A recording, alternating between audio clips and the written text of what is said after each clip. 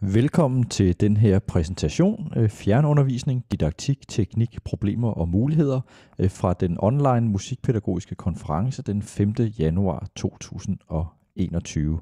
Øhm, jeg hedder Jesper Andersen, og jeg er lektor øh, og leder af tonemesteruddannelsen på det Kongelige Danske Musikkonservatorium. Og jeg er rigtig glad for at have en masse tid her til at fortælle om det her emne, som er noget, jeg brænder rigtig meget for. Inden jeg går videre, så vil jeg lige sige, at det her det er en optagelse, som er lavet dagen efter konferencen, altså den 6. januar, og det skyldes simpelthen, at øh, da selve præsentationen foregik, så glemte jeg at trykke på den knap, som jeg har lavet et lille billede af her.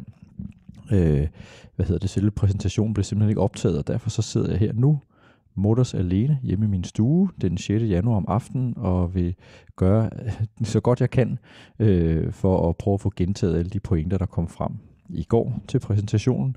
Øh, I går der var vi cirka 120 mennesker sammen, øh, mens jeg snakkede, og jeg tror præsentationen varede øh, cirka 90 minutter. Øh, I dag kan det godt være, at den bliver en lille smule kortere, fordi der jo ikke er spørgsmål undervejs, men jeg vil i hvert fald gøre, hvad jeg kan for at prøve at inddrage de spørgsmål, som, øh, som vi havde med øh, fra alle de gode deltagere, som var meget dygtige at holde sig vågen i 90 minutter til den her snak. Øh, jeg vil gerne lige starte lige med at introducere mig selv lidt mere. Som sagt, så er jeg leder af tonemesteruddannelse på konservatoriet. Det er et sted, hvor vi uddanner lydteknikere og musikproducer inden for både klassisk og rytmisk musik. Øh, og jeg er også selv uddannet tonemester og har arbejdet som lydtekniker og musikproducer en masse forskellige steder, både i mit eget studie, men også øh, som freelancer på Danmarks Radio og forskellige andre steder. Og jeg er sådan en lidt øh, øh, dobbelt personlighed, fordi jeg har arbejdet meget inden for rytmisk musik, men også øh, rigtig meget med klassisk musikproduktion. Øh, jeg har selv en baggrund oprindeligt som rytmisk pianist, og spiller stadigvæk øh, koncerter jævnligt. Øhm, og så selvom jeg nu er i konservatorieverdenen, så ser jeg meget mig selv som et barn af Vordingborg Musikskole, hvor jeg har gået som en meget, øh, øh hvad hedder det, meget flittig øh, og meget artig klaverelev, fra jeg var barn i ret mange år, men faktisk også efter jeg var blevet voksen og, øh, og startede på konservatoriet. Også senere har jeg været tilknyttet musikskolen der til forskellige projekter. Så både derigennem og også gennem øh, mine egne børn, som er musikskolebørn, og også en masse venner og kolleger, jeg har, der er musikskolelærer, så føler jeg alligevel, at jeg har sådan et rimelig godt indtryk af, hvordan, hvad der rører sig på en, på en musikskole. Øh, Udover mit arbejde som underviser for konservatoriet i, øh, i musikproduktion og lydteknik, så har jeg også arbejdet i 10 år med at udvikle vores øh, øh, fjernundervisningsprogram. Øh, og det er den erfaring derfra, jeg gerne vil dele nu her øh, med jer. Jeg har faktisk også været med på en del øh, forskningsprojekter inden for det område her, og, øh, og øh, for tiden i de næste øh, fire år fra nu er jeg deltidsansat på konservatoriet, øh, øh, og samtidig deltidsansat i samarbejde med Aalborg Universitet, hvor jeg er Ph.D.-studerende, hvor jeg forsker i forskellige ting. Øh, den ene store ting, jeg forsker i, er lige præcis fjernundervisning, lyd og didaktik og evaluering af fjernundervisning, og den anden del, som er måske er lidt mere nørdet og ikke er så relevant lige nu, det er, at jeg også arbejder med at forbedre lydkvalitet af musikoplevelser på høreapparater, men det er altså en helt anden ting. Se, inden jeg går videre, så vil jeg nemlig gerne lige komme med en lille advarsel her. Det er som sagt, så de fleste erfaringer, vi har træk på på, på konservatoriet her, det kommer altså fra øh, øh fra voksenundervisning, altså konservatorieundervisning. Øh, det vil sige, det er altså øh, elever, eller studerende, studerende, som vi jo kalder dem. Jeg skal se, om jeg kan bruge ordet elever i stedet for, men, men det er altså studerende, som er voksne, og som altså i ret høj grad mestrer deres instrument allerede rent teknisk. Og det betyder selvfølgelig, at den undervisning, der foregår på konservatoriet, er en, en helt anden karakter, end det, der foregår på, på en musikskole. Men alligevel så tror jeg, at mange af de pointer og mange af de ting, vi har, har erfaring for at have opdaget her på konservatoriet, kan overføres, og jeg tænker, det kan være relevant for rigtig mange af jer, der kigger med os. Øhm, den her præsentation vil jeg gerne dele over i to dele, øh, der ikke lige ligger helt kronologisk med, med overskriften her, men altså den første del er egentlig, at jeg gerne vil komme ind på øh, teknik, altså teknisk udstyr, øh, og forskellige muligheder, der er for at lave, lave øh, fjernundervisning. Øh, og når jeg siger fjernundervisning, så forestiller jeg mig altså, jeg bruger det begreb som, som synkron fjernundervisning, det vil sige en-til-en undervisning, en slags videokonference, som kunne være Skype eller Zoom eller alle mulige andre former for systemer. Så det vil sige, det er altså ikke fjern, fjernundervisning på den måde, at man logger ind i sådan et e-learning miljø, men altså en, øh, en live videokonference. Og der er en masse forskellige teknisk udstyr og en masse pointer omkring det, som jeg gerne vil komme ind på. Det starter jeg med. Og så bagefter går jeg over til del nummer to, øh, der ikke er så teknisk, men altså som handler mere om didaktik, problemer og muligheder. Øh, og her vil jeg gerne være, være lidt modig og, og bruge ordet problemer. Jeg ved godt, der er mange, der siger, at man skal kalde det udfordringer i stedet for. Men jeg synes ikke, der er nogen grund til at lade som om, at fjernundervisning er så fantastisk, at det kan være lige så godt eller endda bedre, end at være i samme rum. Øh, for det er det ikke. Og vi kan se en del af vores amerikanske partnere, øh, i vores, øh, øh vores fjernundervisningspartner, de har en tendens til på måske en lidt amerikansk måde at oversælge teknologien og sige, oh, it's the most fantastic possibilities, and it, it expands our bla bla bla, og så videre øh, sådan lidt amerikansk sælgeragtigt, og jeg vil sige, det, udv- det giver en masse nye muligheder, men øh, selve den læringssituation mellem en lærer og en elev, der foregår, er selvfølgelig bedst, når man sidder sammen i samme rum. Der kan godt være nogle små dele af den, man kan sige, der kan fungere lidt bedre online, men ellers er det den mulighed, der er for, øh, for online, er selvfølgelig, det gode ved det er, at det giver en masse ekstra muligheder, og selvfølgelig nu i en øh, isolationstid, er det noget, der er mange, der er blevet tvunget over til. Øh, og det kan give mulighed for at række ud til nogle flere øh, andre mennesker og institutioner og rundt om i verden. Men selve læringssituationen er altså på en eller anden måde øh, sværere at komme igennem med i samme kvalitet, som når man sidder sammen. Men først, inden jeg kommer til de her to blokke, så vil jeg gerne lige komme med sådan en lille øh, gennemgang af, hvordan vi arbejder med distance learning på konservatoriet. Øh, og jeg faldt over, da jeg forberedte det her over det her fotografi, øh, af mig selv der, den ene side, med en del mere hår, end jeg har nu. Det er fordi det her billede det er 10 år gammelt på søndag den 10. januar. Øh, og det er Thomas Solak, min gode kollega og mig, der står med en papkasse, og den papkasse indeholder vores første maskine, videokonferencemaskine fra Polycom, som vi købte, og det var faktisk startskud til vores fjernundervisning her.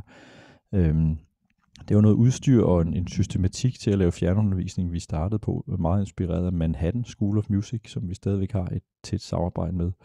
Og Manhattan School of Music var en af, og er stadigvæk en af verdens førende institutioner øh, på det område. Det tør vi også godt sige, at, at vi er blevet her i København. Men Manhattan har altså været i gang i cirka 25 år, og har haft held til også at præge faktisk den teknologiske udvikling af de her systemer. Øh, vi bruger primært vores øh, fjernundervisningssystemer til, jeg kan lige, mens jeg taler her, vise et billede af det studie, vi har, hvor vi egentlig burde have været sammen alle sammen øh, til konferencen, øh, og lavet en workshop inde i det her dejlige rum, i stedet for med kamera og skærme og mikrofoner osv. Øh, vi bruger det her studie og det her udstyr primært som en international, altså som et redskab til internationalisering. Så det vil sige, det er altså en måde at sige, at vi kan forbinde til vores partnere rundt omkring i verden øh, og faktisk udvide de aktiviteter, vi har. Og i den her tid, hvor alting er isoleret, og ingen kan komme til at rejse, jamen, der er det jo altså en stor fordel, at man pludselig kan, kan forbinde til verden på en skærm i stedet for. Det, det er vi jo sådan set nødt til. Og det er i hvert fald dejligt at komme ind i et studie, hvor der er rigtig god billede- og lydkvalitet. For det, der er specielt ved det her system, som mm, der, man kan se, der bliver brugt på, på skærmen her, det er altså, at det har en meget højere lyd- og billedkvalitet, end man normalt har på, på Zoom og Messenger, hvad hedder det, FaceTime og Skype osv. Øh, en ting, som var ret, har været rigtig god for os, da vi startede med at arbejde med det her, det var, at vi lavede en interessegruppe af lærere, altså de lærere, som kunne være interesserede i at arbejde med det her, inden vi overhovedet købte udstyret, og begyndte at lave møder i interessegruppen for at ligesom finde ud af, hvordan, øh, Hvordan skal vi strukturere vores øh, fjernundervisning? Hvad skal vi bruge den til? Hvad er vi bekymret for? Der var for eksempel en del, der var bekymret for, at det ville erstatte rejser. Og det har altså faktisk overhovedet ikke vist sig at være tilfældet. Tværtimod, så har vi fået så mange partnere rundt om i verden, at, øh, at vi formentlig nok har rejst en del mere på grund af distance learning. Vi har i hvert fald haft rigtig gode muligheder for at hive nogle partnere tættere på os, end, øh, end vi ellers havde kunnet.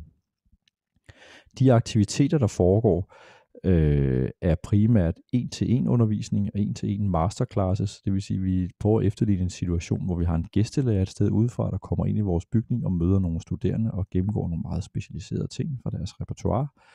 Eller den situation, hvor en af vores undervisere rejser ud i verden og underviser nogle studerende derude og, øh, et eller andet sted på en partnerinstitution. Og typisk så foregår vores øh, undervisning altså som en slags lærerudveksling, det vil sige, at der er en lærer herfra København, der underviser måske to-tre timer ude i verden, og den tilsvarende lærer fra samme faggruppe ude i verden vil så undervise tilbage igen til de studerende i København. Øh, og vi har haft rigtig mange sessions i de her 10 år. Vi faktisk, vi havde lige præcis her til morgen en undervisningssession med Tim Frederiksen. I også kan se på billedet der. Han underviste til Shanghai, og det var vores undervisningssession nummer 840. Øh, så der er rigtig meget, der er foregået her. Jeg kan lige vise et par andre billeder her. Her har vi sangundervisning, klaver, cello, øh, bas og øh, kammermusik. Øh, og så er der lige et billede her, jeg lavede. Det er altså øh, de partnerskaber, vi har rundt om i verden, og de, de institutioner, som vi indtil videre har, øh, har haft forbindelse til på en eller anden måde. Det er altså noget som øh, et kort, som vi håber til, til sidst er, er fyldt med endnu flere blå prikker, end det har lige nu. Så det var en lille introduktion til det, vi går og laver her. Nu vil jeg så gerne hoppe over til en lidt mere teknisk, teknisk del og prøve at fortælle lidt om, hvad det er for noget udstyr og teknik, der skal bruges til god fjernundervisning. Øhm, og jeg vil gerne dele udstyret op i tre blokke her. Men først og fremmest bruger man jo et netværk, altså en internetforbindelse. Øh, og så bruger man det, man kalder et codec, og codec er ligesom den maskine, og det den software, man bruger. Det vil sige, hvis jeg havde været live sammen med øh, jer alle sammen på Zoom lige nu, så havde mit codec altså været min bærbare computer og Zoom-programmet, og så ellers den kodning af lyd og billede, som Zoom nogle gange bruger. Øh, og det, det, man så bruger ud over det, det er noget ekstra udstyr. Det kan være en mikrofon. Jeg sidder med sådan en, en farlig fin øh, tale, radio-tale mikrofon her. Øh, der, det kan også være eksterne kameraer og lamper og højtalere og hovedtelefoner og alt muligt andet. Men jeg vil gerne lige gå lidt mere ned i detaljer med de tre, de tre dele af udstyr her. Først og fremmest netværk. Og der vil jeg sige, at netværk, altså kvaliteten af netværksforbindelsen er helt utrolig vigtig. Og faktisk så vil jeg sige, at det er sådan, at hvis man skal have en høj teknisk kvalitet af sin undervisning, af, af sin forbindelse til fjernundervisning, så er netværket i virkeligheden det, der er det svage led. Altså jeg ved ikke, om nogen af jer har prøvet at sidde med nok så gode hovedtelefoner, og måske en nok så god mikrofon, men hvis det, man prøver at kommunikere med i den anden ende, har en dårlig netværksforbindelse, der hakker og stopper op hele tiden, så er det fuldstændig lige meget, om man har en god eller en dårlig mikrofon. Fordi mikrofonen giver måske kun, en rigtig god mikrofon giver den 10% bedre lydkvalitet, men en dårlig netværksforbindelse betyder, at man formentlig slet ikke kan gennemføre det, man egentlig forsøger på at gøre. Så det er rigtig vigtigt at have en god, god netværksforbindelse. Når vi arbejder med netværk på konservatoriet, så øh, forbinder vi til det, som er det internationale, altså det globale netværk for øh, uddannelse og forskning. Og det er faktisk et kæmpestort rent fysisk net, altså det er kabler, der er gravet ned over hele jorden. I kan se et, et kort her, det er nogle år gammelt, men der, der kan være, der skulle have været endnu flere streger på. Men det er altså et, et specifikt netværk, der kun er til forskning og uddannelse. Der er ingen kommersielle aktiviteter på det net. Øh, og det er noget, der bliver administreret i hver enkelt land og hver enkelt region af forskellige forskningsenheder. Og i Danmark, der ser nettet sådan her ud. Det bliver administreret af noget, der hedder DEIC, øh, som bor på DTU i Lyngby, så det er en del af deres supercomputercenter. Og DEIC står for Danish E-Infrastructure Consortium. Og der er altså den danske del af det her forskningsnetværk. Øh, og I kan se nogle streger på kortet der, det er altså kabler, der er gravet ned, der hører til det danske forskningsnetværk. Og det betyder, at når vi forbinder til andre institutioner, som også er på det her forskningsnetværk, så, så får vi en meget, meget hurtig og meget, meget stabil forbindelse. Det svarer nærmest til at have en lang ledning fra den ene maskine til den anden. Øh, hvor hvis man forbinder på en kommersiel, øh, almindelig kommersiel internetforbindelse privat, ja, så bliver det signal, man sender, altså opdelt i alle mulige pakker, og det kan blive sendt flere forskellige veje rundt i, i netværket. De her pakker skal samles igen et andet sted. Det er altså i den anden ende, og det er altså noget af det, der kan gøre, at, at forbindelsen hakker. Øh, det kommercielle net gør, at bruger de her pakker, der bliver sendt rundt, simpelthen for hele tiden at optimere brugen af netværket og sørge for, at, øh, at alt data bliver ligesom fordelt ligeligt ud over hele verden. Men mens man, når man forbinder på forskningsnettet, har man ren hul igennem i en helt anden grad.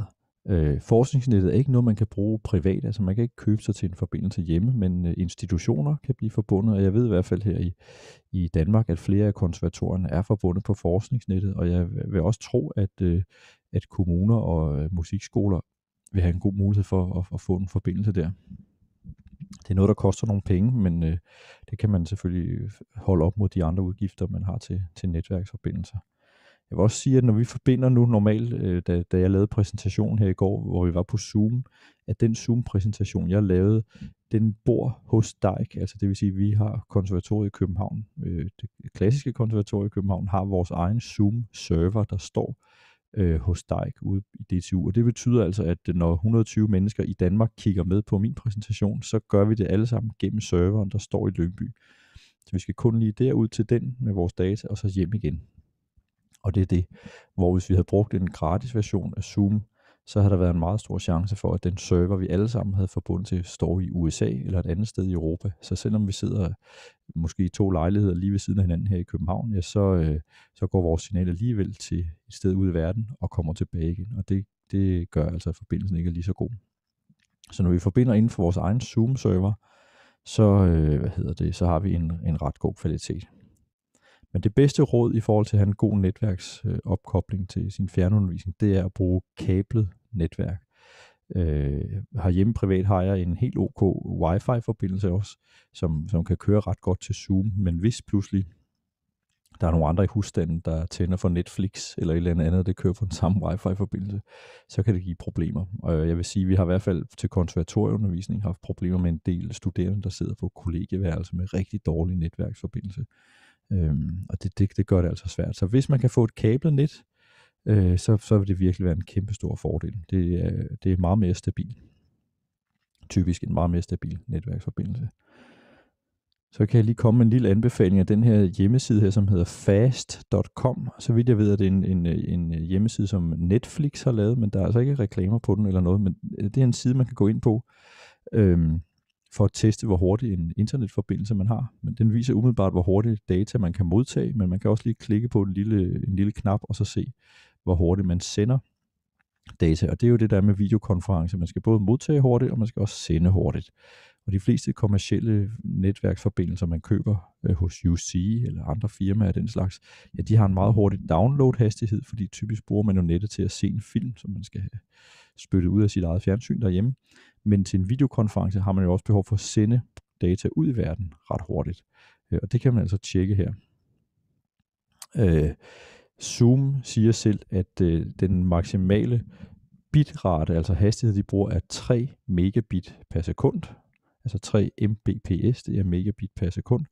Øh, men jeg vil normalt sige, at en god anbefaling til at kunne køre en god videokonference, det er altså, at man har 15 megabit per sekund på sin download hastighed. Og det kan man altså gå ind og, t- og, og teste der. Det kan også være en måde at teste, om man egentlig får den vare, man betaler for øh, hos sin internetleverandør.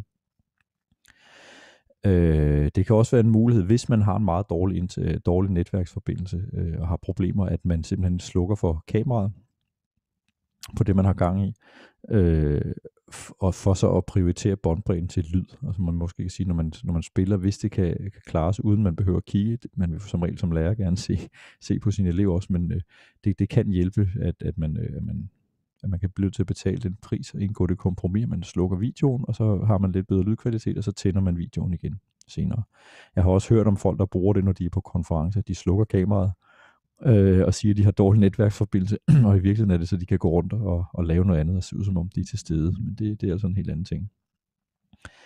En sidste ting, jeg vil sige i forhold til, til dårlige netværksforbindelser, det er, at vi har haft en, en del problemer med, at, at systemer, også Zoom, men også andre systemer, faktisk kører tempoet i opkaldet en lille smule op og ned.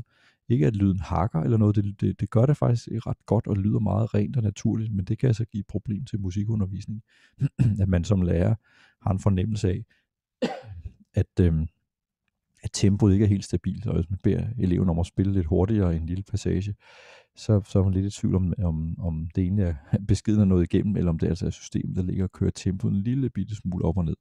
Og det er noget af det, der sker, hvis man har en netværksforbindelse, der ikke er helt stabil. Så prøver systemet at, at gemme noget data og sende det lidt senere, og hele tiden prøve at justere for at, at få det til at se så, så lækkert ud og så rent ud som muligt. Det er jo noget, der fungerer fint til tale, når man holder det med møde, men, øh, men i musik, der er tempo selvfølgelig en rimelig vigtig, øhm, hvad hedder det, en rimelig vigtig faktor. Så er der det her, som nu har jeg kaldt det codec her, det er sådan det, det internationale begreb for det. Og codec, det er ligesom de ting, der ikke er netværk og heller ikke er, er udenoms og udstyr. Så typisk vil codec jo være en computer eller lignende. Som sagt, så sidder jeg her på en øh, bærbar computer. Og så er det den øh, software, man bruger, og jeg sidder så i Zoom, og så den kodning, og, og Zoom har sin egen kodning, det vil sige, at den lyd, der bliver sendt igennem Zoom, er ikke en fuldstændig øh, ren, øh, det man kalder PCM-lyd, altså CD-kvalitet-lyd, hvor man har øh, fuld båndbredde på, på lyden, der går igennem. Det er altså en øh, komprimeret udgave, som svarer til en pænt dårlig MP3-fil. Øhm, og det er altså den, der ligger, ligger inde i den, den transmission, man laver. Øh, der er også mulighed for at købe, købe sig til en hardware codec, altså købe en maskine, som tager sig alt det her, i stedet for at gøre det på en computer. Og den mest udbredte, det mest udbredte system for det er, er firmaet Polycom, eller Poly, som de bare hedder nu. Øh, og det er altså nogle, nogle maskiner, som er faktisk en videocomputer, med lyd og billede ind- og udgange og et netværkstik, og hvis man køber sådan en boks, og så man har en partnerinstitution, der har en tilsvarende boks i den anden ende, så kan man altså med det system få en rigtig, rigtig god billede- og, og lydkvalitet. Og det er sådan et system, vi bruger på DKDM øh, til de her mange masterclasses, vi laver. Det er stadigvæk ikke super top, top opløsning, men det er i hvert fald meget, meget bedre, end hvad man vil være vant til fra, fra Zoom og, og lignende systemer. Øh, så det vil sige, at det hele er indbygget her. Det betyder altså også, at den, i og med at det er en videocomputer, der, den skal ikke lave andet øh, end, øh, end præcis at sørge for, at den her forbindelse kører rigtig godt, og den er optimeret til det, og det gør altså, at man har en, en rigtig god forbindelse. Når jeg sidder på min bærbare computer her i Zoom, så foregår der både det, at jeg optager præsentationen, og jeg har også en PowerPoint kørende, hvor jeg viser slides, og så vil jeg normalt være på en, øh, en videokonference, hvis det var live det her. Så den her computer, den skal tage sig rigtig mange ting samtidig. Øh, det skal det her Polycom-system overhovedet ikke. Øh, de billige Polycom-systemer, øh, hvad hedder det, koster ned til omkring 30.000 kroner. Så det vil sige, det er ikke noget, som er fuldstændig ude for rækkevidde for en mindre institution at købe sådan en, og man kan jo forestille sig, at det kan give en masse muligheder. Øh, når man har en Polycom-system, hvis andre skoler også har, så kan man, kan man øh, forbinde til hinanden og have nogle samarbejder kørende der. Det skal lige siges, at udover udgiften til at købe selve boksen, så vil der også være en udgift til at få konfigureret det netværk, man bruger. Øh, fordi det er ikke en boks, man bare køber og plukker i, og så spiller det. Øh, der skal øh, ændres nogle indstillinger, blandt andet på det, der hedder firewallen, som er nogle sikkerhedsindstillinger på netværket, og det er ikke let at gøre. Det er noget, der skal gøres en gang, og så kører det, men det er ikke noget, man lige gør selv. Og det er så faktisk så kompliceret, at det er typisk ikke noget, man kan gøre på en privat internetforbindelse. Så man kan altså ikke, som der var en, der sagde for mange år siden, i stedet for at kalde det distance learning, kalde det distance earning. Og sige, jeg kan sidde herhjemme eller i mit sommerhus og tjene penge på at undervise og købe en Polycom maskine. Det, det kan man ikke. Den, den, øh, den kører ikke på, på et øh, almindeligt netværk. Man skal have en form for kommunenet eller en eller anden form for øh, netværksadministrator, der kan gå ind og, og pille ved nogle ting, før det virker. Polycom laver også en, øh, det, de kalder en desktop-udgave, altså en, en øh, ren software-version, som kan køre på, på en computer lokalt. Den fungerer ok, men øh, man mister en, en del kvalitet øh, øh, og kommer ned på en kvalitet, der minder om, hvad hedder det, øh, i hvilken kvalitet, der minder om det, man har på, på Zoom og på andre systemer. Der var en ting, jeg lige ville nævne her, nu vi var ved Polycom-systemet, det er, at øh, jeg var inde på Manhattan School of Music tidligere, og det var faktisk Manhattan School of Music og Canada National Arts Center, som havde held til for mange år siden at få hul igennem til Polycom-folkene og få dem til at ændre lydindstillingerne øh, på deres Polycom-systemer for at få en bedre lydkvalitet, end, øh, end, der, norm, end, end der normalt er. Altså Polycom-systemer i virkeligheden øh, og alle andre videokonferencesystemer er jo optimeret til tale. Man bruger dem jo til videokonferencer, hvor man sidder og holder møder og taler med hinanden. Øh, og det håndterer de ret godt, men, øh, men musik, lyden af musik har en helt anden karakter end lyden af tale. Øhm, for eksempel så er det sådan, at øh, der er ikke ret stort dynamikområde på tale. Altså når jeg taler nu, enten så taler jeg ret stille i lydniveau, eller også er jeg stille. Og så taler jeg og stille, og det er det.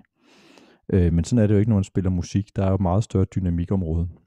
Og det gør, at systemet kan have ret svært ved at finde ud af, hvem er det egentlig, der spiller nu, og er det her egentlig en udklædning af en meget lang, stille violintone, eller er det noget baggrundsstøj, som den skal prøve at fjerne osv. Og alle de her automatiske funktioner, som prøver på at korte lyden, øh, det gør man for at, for at undgå ekko. Øh, det, det, de, de her algoritmer har rigtig svært ved at håndtere musik. Øh, og der var, øh, hvad hedder det, var vi meget heldige alle sammen, at Polycom altså gik med på et samarbejde for at prøve at forbedre, forbedre lydkvaliteten. Øh, og der har faktisk systemet Zoom også fået nogle rimelig gode øh, versioner, øh, hvad hedder det, funktioner nu, som jeg kommer ind på om lidt. Nu tager jeg lige en hurtig tår kaffe. Yes. Det næste system, som jeg synes er værd at nævne, det er et system, der hedder Lola. Og Lola er i, i, øh, udviklet i Italien, på, i Trieste på konservatoriet, sammen med det italienske forskningsnetværk. Og Lola er en forkortelse, som øh, står for Low Latency, og det er altså et system, som har en utrolig lav forsinkelse. Og det er sådan normalt, når vi forbinder på Zoom og andre systemer, og også på de her fine Polycom-systemer, at så er der en forsinkelse på omkring sådan cirka fra et kvart til et halvt sekund, når man, øh, når man øh, ringer op til hinanden. Og det gør selvfølgelig, at det er fuldstændig umuligt at, at spille sammen. Jeg har en lille test, som, som er ret sjov, hvis man skal teste forsinkelsen øh, på, den, på det opkald, man har. Det er, at i den ene ende, man tæller i rytme 1, 2, 3, 4. Og firetallet skal man ikke selv sige, det skal folk i den anden ende sige. Så man prøver ligesom at prøve rytmen af, og så kan man høre, hvor forsinket folk i den anden ende siger det her firetal, øh, og så ved man altså, hvor lang forsinkelse man har. Den kan være helt op omkring et halvt sekund, og måske et helt sekund.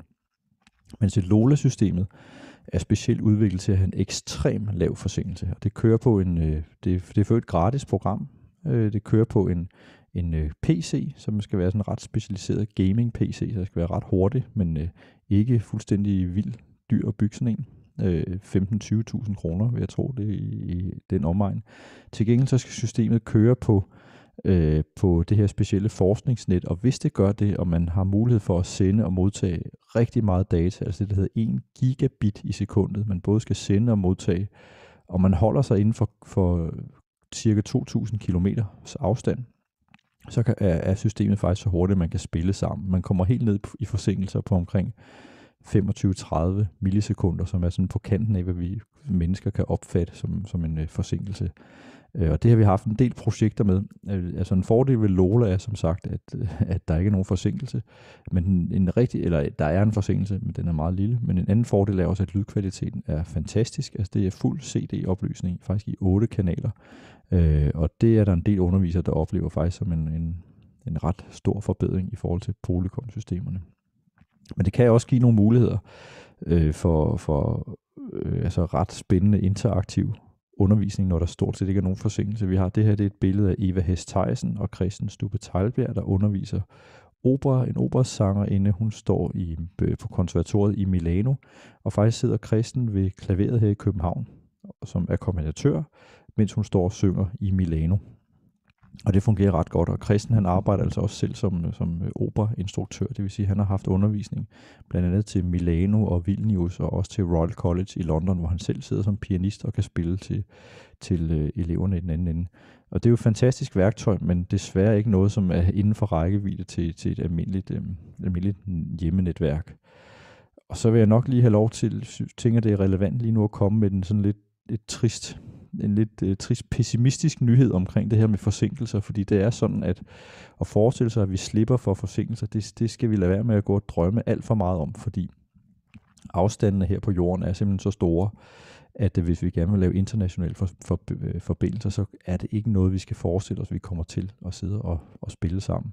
Hvis man tager afstanden her fra København og så til Melbourne i Australien, så er der 16.000 øh, km cirka. Det svarer altså til lysets hastighed på 53 millisekunder. Det vil sige, at lysets hastighed er ikke hurtig nok til at transmittere signal mellem Melbourne og København så vi kan spille sammen. Fordi 53 millisekunder, det er helt klart noget, man, man fanger som en sådan musikalsk træhed, hvis man sidder og spiller sammen. Så drømmen om, at vi alle sammen en dag kan logge ind i sådan en stor øh, online jam session og bare spille sammen med hinanden på kryds og tværs, det er ikke noget, der kan lade sig gøre, medmindre man kan sende signalet hurtigere end lysets hastighed. Altså ikke lydens hastighed, men lysets hastighed. Øh, Øh, så det er altså noget, som er i Nobelprisklassen at, at lave, den, øh, lave det system, så det er ikke lige rundt omkring hjørnet. Man, man skal altså bøje fysikkens regler på en eller anden måde, for det skal kunne lade sig gøre. Til gengæld kan man jo forestille sig, at man kan logge ind i en global jam session og spille musik, hvor timing ikke er så vigtig. Altså man kan jo godt forestille sig at spille andre former for musik, hvor man bygger nogle teksturer op sammen og laver nogle andre ting, laver effekter på hinandens lyde og jammer på en anden måde, men at altså have et, et en fed jazz trio, så der svinger og groover, som den skal øh, globalt, det kommer først til at kunne lade sig gøre, hvis man altså kan bøje tid og rum på en eller anden måde, som vi ikke rigtig har begreb om lige nu. Og det vil også sige, at når man ser de her lækre videoer, nu tog jeg lige et screenshot her fra nytårsaften, som der sikkert er rigtig mange, der har set. Philip Faber, der spiller med DR øh, Pigekoret, Øh, en video som den her er ikke en live video. Altså der findes ikke noget system, hvor man kan gå ind øh, så mange mennesker, eller nogen mennesker, og, og spille sammen på den her måde på et hjemmenetværk fra en iPhone, som man kan se mange står med, hvad det ligner nogle iPhone øh, hovedtelefoner. Det kan ikke lade sig gøre. De her videoer, de er lavet med et præindspillet klaverspor, som er blevet sendt ud til alle sangerne, og så står de hver for sig asynkron, altså ikke samtidig, og synger og optager lokalt på deres telefon, at de står og synger med til det klaverakkompagnement, de får i ørerne, og så sender de filen ind til Danmarks Radio, og så sidder der en tekniker, som sidder bagefter og efterproducerer og klipper det hele sammen og polerer lyden og får det hele til at passe. Så det er altså sådan, øh, det er sådan, man laver sådan en video her. De er ret sjove at lave, og det, det er jo en fantastisk fornemmelse af at være sammen, men, øh, men det er altså ikke noget, man, det, er ikke, det er ikke fordi Danmarks Radio har adgang til et eller andet system, der kan det, og, og vi andre godt vil have fingre i det. Det, øh, det findes ikke. Øh, inden vi, jeg lige hopper videre, så vil jeg lige nævne, det dukkede op til, til konferencen i går, der var nogen, der nævnte det system, der hedder Jam Kazam. J-A-M-K-A-Z-A-A-M. Og det er et, et ret fint system, som, hvor man kan transmittere øh, lyd. Der er ikke billede, men lyd i rigtig god opløsning med meget øh, lille forsinkelse. Det er stadig på kanten af, at, at man altså har, vil have svært ved at spille sammen, men, øh, men man har i hvert fald rigtig god lyd og stort set samtidig øh, forbindelse. Og det er et gratis program, som er udviklet på Stanford Universitetet, øh, som kan være sjovt at gå ind og lege med. Og jeg har endda set øh, folk, der, øh, der har kombineret Zoom med Jamkasam. Så det vil sige, at man har lyden fra Jamkasam, og så slukker man for lyden i Zoom, og så lever man altså med, at billedet og lyd måske ikke er perfekt synkroniseret. Det kan være, at billedet hakker lidt i Zoom, men man har sådan en bedre lydforbindelse. Og der var en af, den kan jeg desværre ikke tage æren for, men der var en øh, deltager på konferencen i går, der sagde, så har man altså en Jam Kazoom i stedet for Jam Kazam. Så den, øh, det, det synes jeg var et godt, øh, et godt input. Så vil jeg lige til sidst, inden, inden jeg hopper videre til at snakke lidt mere om hjemmecomputer og sådan noget, lige nævne, at der findes også nogle andre systemer til at lave meget, meget hurtige øh, synkron øh, videokonference. Nimbra, det er nogle svenske maskiner, som bliver brugt primært til, øh, til at transmittere tv og især sportsbegivenheder over hurtige netværk. Men jeg ved også, at øh, operan i Stockholm for eksempel har brugt det til at lave nogle forskellige fjernkoncerter med. Øh, og der er også et system, der hedder MVTP, som er udviklet i, øh, hvad hedder, i samarbejde med konservatoriet i Prag og forskningsnet i Tjekkiet, som altså også kan lave nogle meget, meget hurtige forbindelser. Men igen, hvis man skal have ekstremt hurtige forbindelser, skal man også have nogle ekstremt specialiserede netværk. Øh, der er også, også mange systemer, hvor man ikke har en, en, en hardware-box og en dedikeret video, øh, videomaskine, men altså man kører på noget, der ligner noget af det her, altså et almindeligt almindeligt hjemmesystem. Og det er jo i virkeligheden det, der er, det er jo faktisk det, der er virkeligheden for, for langt de fleste af os at sidde og undervise på det her. Øh, og på en, en form for en hjemmecomputer og en hjemmeforbindelse, og der sidder nogle elever i den anden ende, som altså har noget, der svarer til det. Og der er alle de her, jeg fandt lige nogle forskellige logoer her, lige mens jeg sad og satte de her op, blev næsten helt, uh, næsten helt træt. jeg har set de her ting. Jeg glæder mig virkelig til at, at forhåbentlig at komme, komme tilbage igen. Øh, og alle de her systemer her, Skype, Zoom, Big Blue Button, Teams og FaceTime, har sådan i grove træk nogenlunde samme kvalitet, ud over Zoom, som jeg kommer tilbage til. Men de andre, der er fordele og ulemper ved dem alle sammen. Altså de er forskellige at bruge, og har, har forskellige, hvad kan man sige, brugerflader. Nogle er lidt nemmere at gå til, og andre er lidt sværere, og nogle integrerer godt med mailsystemer og kalender, eller messenger osv. Så, så, så der er forskellige smag, men hvis man godt vil have god kvalitet på lyd og billede, så er Zoom det eneste system, som, øh, som altså øh, udskiller sig fra de andre. Øh, og det gør det blandt andet, fordi det har den her funktion, der hedder Turn On Original Sound. Så det her det er altså et lille screenshot fra Zoom. Så når man er i en Zoom-opkald, så øverst oppe i venstre hjørne er der den her knap, man kan trykke på. Så det er ikke så altså interaktivt lavet. Altså på den måde, nu står der Turn On Original Sound. Det betyder så, at det er slået fra. Og så jeg trykker på knappen, så har jeg slået original sound til. Øh, så så det, ja, man skal lige øh, sætte hjernen på hovedet, når man skal forstå øh, logikken i det. Øh, hvad hedder det? Øh, og det som, som Turn On Original Sound gør, det er, at den i virkeligheden øh, sender den direkte, forsøger så vidt muligt at sende den direkte lyd fra mikrofonen til den anden ende. Så det vil sige, at man får sådan en lydkvalitet, som er tættere på, på det, som, som egentlig bliver opfanget, og, og ikke noget, der bliver hakket og, og gjort alle mulige ting ved at, at tale optimeret. Øh, og jeg kan godt lige fortælle lidt mere om, hvad det er for nogle ting, der foregår her. Se, det her det er nemlig et andet screenshot fra Zoom. Man kan gå ind i Advanced Audio Settings, og der kan man altså få lov til at pille en lille smule mere, end man kan i de fleste andre øh, systemer. Jeg kan for eksempel se her, der står her nederst her, Show in Meeting Option to Enable Original Sound from Microphone. Så det vil sige, hvis man ikke kan se den her, jeg viste før, hvis man ikke kan se den her, så er det fordi det her flueben, det ikke er hakket af. Øh, så kan I se, der står nogle ting her. High Fidelity Music Mode, Echo Cancellation, Stereo Audio, og der er også den her øverste, der hedder Automatically Adjust Microphone Volume.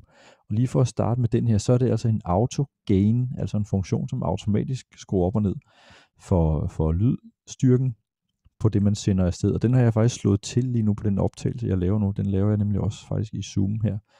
Øh, og det tænker jeg fungerer fint til min tale, så hvis jeg kommer til at tale lidt for lavt, eller råbe alt for begejstret højt, så bliver altså lyden justeret, sådan, så det ligger på et jævnt niveau.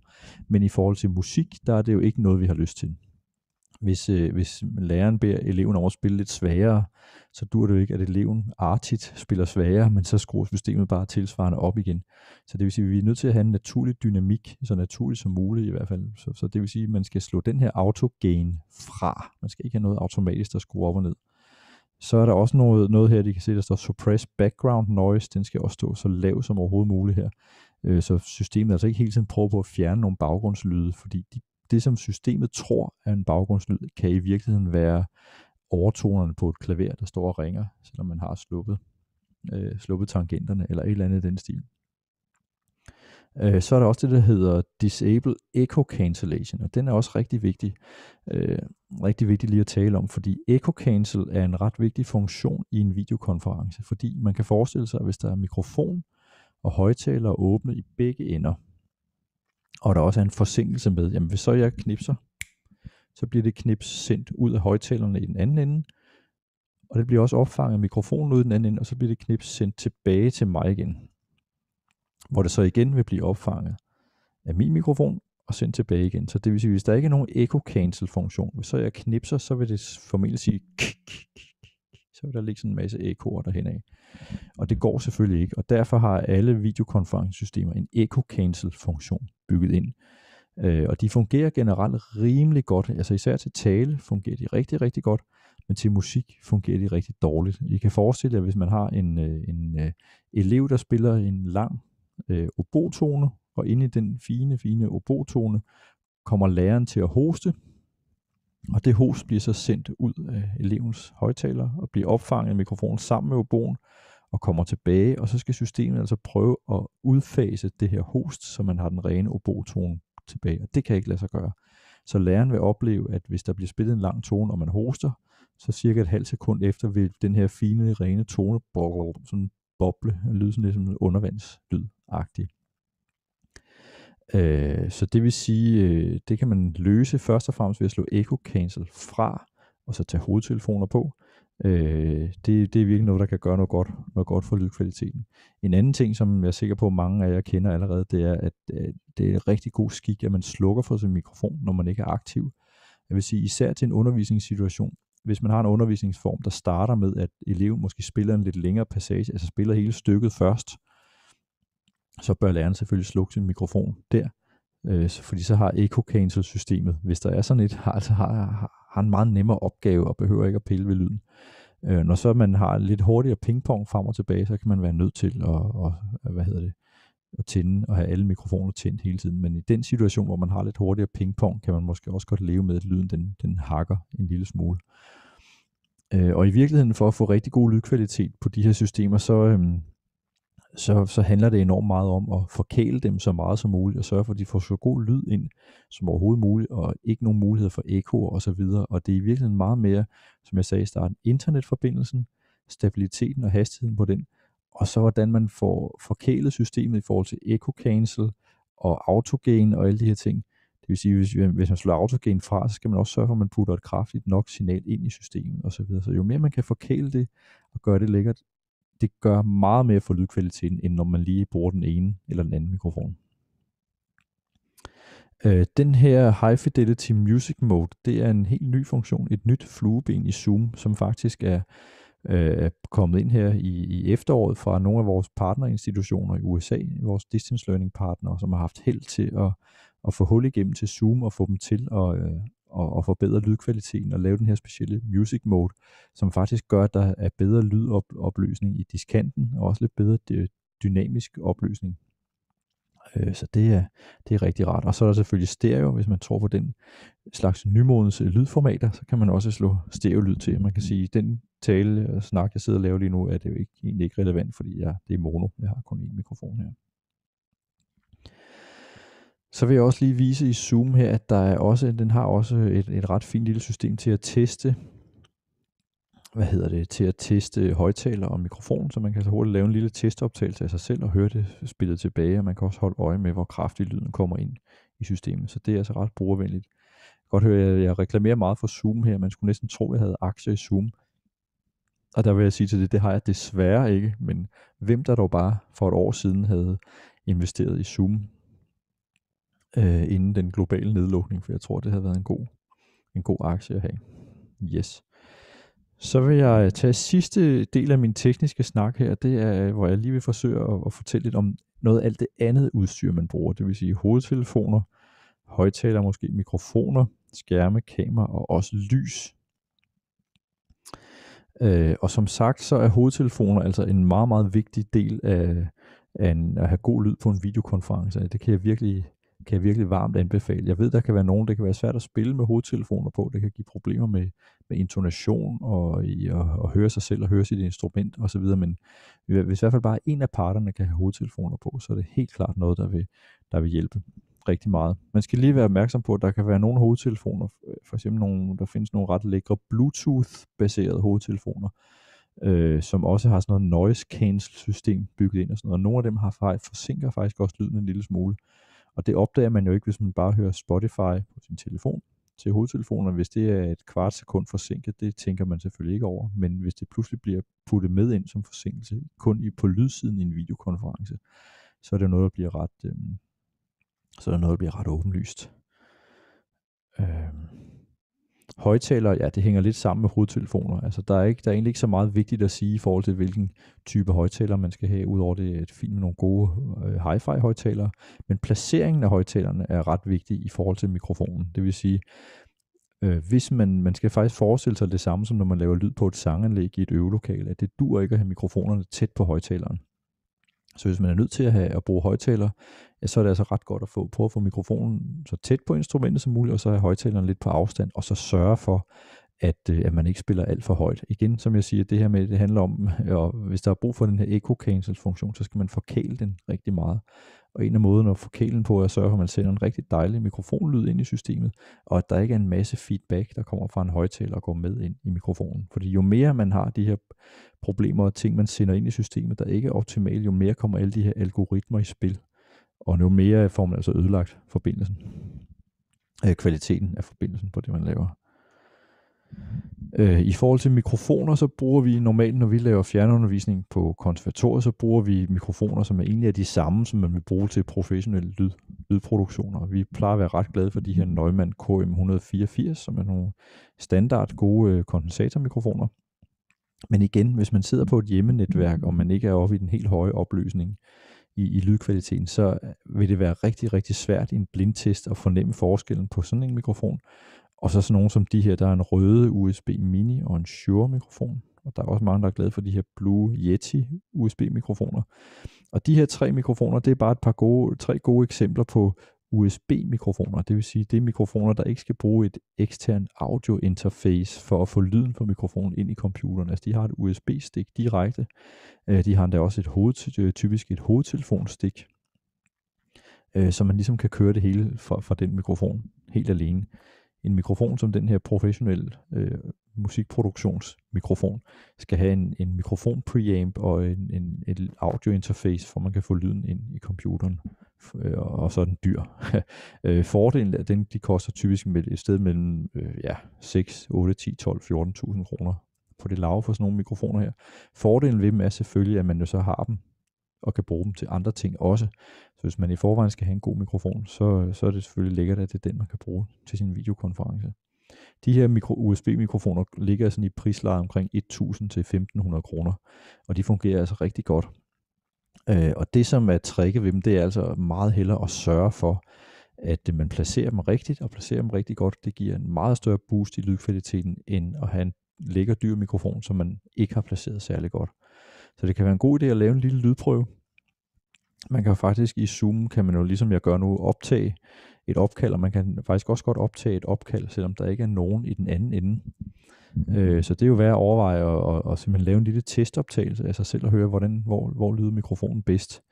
På nogle instrumenter kan det være lidt svært at finde det gyldne sted, hvor ens instrument lyder godt, og tale også lyder godt. Vi har for eksempel haft udfordringer øh, og problemer i forhold til trompetundervisning, fordi en trompet spiller meget kraftigt og meget puff, retningsbestemt, og det kan faktisk være svært at finde et sted, hvor der står en mikrofon, som både er god til et naturligt tale-niveau, når man har en almindelig hverdagsniveau, hvor man ikke råber til hinanden, hvor man taler almindeligt, og man så også kan skifte over til at spille, uden at lyden overstyrer.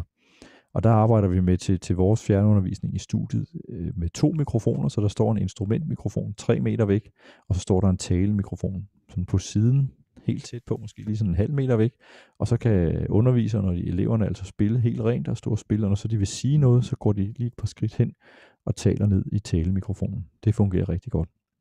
Der er også øh, mulighed for at sætte flere mikrofoner på i Zoom, og så, og så skifte mellem dem simpelthen ved det lille pilen ved mikrofonikonet. Øh, en anden mulighed kan altså være at, at simpelthen flytte sig, som man siger, men man, man står tæt på mikrofonen, når man taler, og når man spiller, så går man altså så går man længere væk. Så det er, er noget, der skal, hvad hedder, der skal testes, for man er sikker på, at det, det kører rigtig godt. Så der er lige lidt omkring skærme, øh, kamera og skærme. Altså lige nu, når jeg sidder og taler her, og det, det tænker jeg, det er en meget naturlig situation for mange, så sidder kameraet og skærmen fast. Altså jeg bruger det lille indbyggede kamera på min bærbare computer her. Øh, og det fungerer sådan set fint, og kvaliteten på de her kameraer, både i, i smartphones og i bærbare computer og, og i skærme, nogle, nogle stationære computer har en skærm med indbygget kamera. Generelt er de her kameraer rimelig gode, og det er faktisk svært at købe et, et lækkert webcam, som har en billedkvalitet, som er mærkbart bedre end det her.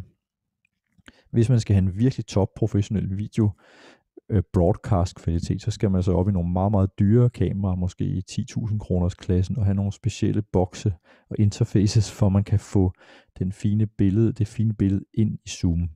Det kan sagtens lade sig gøre, og her kan jeg anbefale et program, der hedder OBS, ligesom oplysninger til borgere om samfundet, og det er altså et øh, program, som det står for Open Broadcast Server, og det er altså et gratis program, som kan bruges til at, at lave live streaming og forskellige andre ting. Det kan også optage, og der kan man altså samle forskellige kameraer og mikrofoninputs og lave tekster og lave alle mulige lækre ting derinde. Øh, og det fine ved programmet, udover det er topkvalitet, og det bliver brugt professionelt mange steder, det er altså også, at det er gratis. Og man kan da også integrere et Zoom-opkald i OBS. Så hvis man vil lave rigtig sådan mere avancerede videoproduktioner, så er det noget, man, man kunne overveje at kigge på. Men i forhold til et almindeligt opkald, ja, der, som, som nu, så er, det altså ikke, er der ikke ret meget at hente ved at prøve at købe et bedre webcam i forhold til billedkvaliteten. Men det kan godt være i forhold til placeringen af kameraet, fordi igen så har jeg det problem nu, at nu prøver jeg rykke ved det, at mit kamera og min skærm sidder samme sted. Så det kan give mig nogle problemer i forhold til, hvor kan jeg egentlig sidde, hvis jeg skal sidde med en guitar, og man skal kunne se gitaren, så skal jeg rykke langt væk. Man kan se gitaren til gengæld, så kommer jeg pludselig selv enormt langt væk fra skærmen, for den er faktisk ikke så stor, den skærm her. Så det kan være en fordel, at man har et eksternt webcam, og man kan sige, det kan jeg stille lidt længere væk, og så kan jeg have en skærm lidt tættere på. Man kan også overveje at have to, øh, hvad hedder det, to kameraer på, så man har et tæt kamera og et kamera lidt længere væk. Det kan man for, bruge vi for eksempel til klaverundervisning, hvor det kan, faktisk kan være ret svært at finde ud af, hvor skal vi placere kameraet henne, fordi man vil godt have en god øjenkontakt, når man taler. Man vil også gerne vise tangenterne, men man vil måske endda også godt vise pedalerne eller vise kroppen fra siden for at se positur og håndstilling og alle sådan nogle ting. Det, det er faktisk rigtig svært at fange med et kamera, øh, for eksempel til klaverundervisning. Så er der lige lidt omkring lys. Altså jeg har sat mig her hjemme i min stue. Jeg har en stor lampe her hængende her, som giver godt lys ind forfra. Og der er faktisk, som I kan se, der er nogle vinduer her. Det gør så, at det, det er et godt videokonferencested for mig at sidde, for om i dagtimerne kommer der masser af dagslys ind her, og der er en lampe herover. Så jeg sidder selvfølgelig den her vej. Hvis jeg vender mig om, så der kommer modlys ind i kameraet, så vil det give en meget dårligere øh, billedkvalitet. Øh, og igen, ligesom det er med, med lydkvaliteten på mikrofonerne, som jeg talte om, så gør det ikke den store forskel, om man har et fantastisk godt kamera, øh, eller om man har en fantastisk god mikrofon. Men det, der virkelig kan gøre noget for billedkvaliteten, det er, hvis man har godt lys. Øh, øh, og det oplever jeg tit, at det er noget, man lige skal hjælpe elever og studerende i den anden ende med lige at få, forvente sig rigtigt, fordi typisk vil man måske sætte sig ind i en stue, i en sofa, øh, og så har man altså vinduerne ind den rigtige vej, så de ligesom øh, giver, giver lys på ansigtet og ikke ind i kameraet, men nogle steder sætter folk sig anderledes, og så, så giver det altså en meget dårligere billedkvalitet. Man kan også købe, jeg fandt lige et billede af sådan en, øh, en lampe, de, den der koster 250 kroner, det er sådan en, jeg tror, YouTuber og sådan nogle øh, slags folk bruger, men man kan altså godt ret billigt købe lidt, lidt ekstra videolys, som virkelig kan gøre noget for, for, øh, for billedkvaliteten. Det er typisk sådan, at hvis der kommer kraftigere lys, så, så får man bare en højere billedkvalitet. Det er ikke fordi, at billedet i den anden ende kommer til at se lysere ud, men det bliver bare mindre øh, grovkornet, og det står ikke og flimrer. Det, så på den måde får man altså en bedre billedkvalitet, men det er ikke fordi, det skal se lyst ud, men, men systemet behøver ikke at overkompensere og prøve at gøre billedet lysere, men, øh, men det får lov at, at, at blænde lidt ned, og det giver en bedre, en bedre opløsning. Sådan. Så efter et host vil jeg så hoppe videre til anden del af præsentationen her. Jeg vil tro, den kommer til at vare omkring en halv times tid, eller sådan noget lignende. Øh, og det er altså det her, der hedder didaktik, problemer og muligheder. Øh, og de pointer, jeg kommer ind på nu her, de kommer altså fra næsten 850 sessions, øh, undervisningssessions, vi har haft her på konservatoriet. Og så kommer de også fra et meget stort forskningsprojekt, som vi lavede her for nogle år siden, Øh, og der vil jeg egentlig gerne lige have lov til at starte med det her forskningsprojekt for at for, fortælle lidt om baggrunden for det, og hvordan, hvordan det blev struktureret. Og vores distance learning forskningsprojekt, det var noget, der kom ud fra, fra den interessegruppe, altså lærerinteressegruppe, jeg snakkede om i starten. Øhm, fordi de her 11 lærere, øh, der mødtes og lavede en god gruppe og snakkede sammen, sagde ret hurtigt, inden vi overhovedet var i gang med distance learning, at der er altså to ting, vi har brug for her, før vi går rigtig voldsomt i gang og sætter tube på fjernundervisning. Den ene ting jeg vil gerne vide, have, vide, hvor er den forskningsbaserede viden på det her område. Altså der må være nogen, der har forsket og kigget på og sige, hvad sker der med vores undervisning, når vi flytter os fra at være sammen i samme rum, og til når vi går over og får pludselig skærm og kamera og mikrofoner og hovedtelefoner eller højtaler imellem os. Så hvor er det? Hvor er den forskning? Det vil vi enormt gerne læse. Og så prøvede vi at kigge alle sammen, og vi kunne faktisk ikke finde noget nogen steder.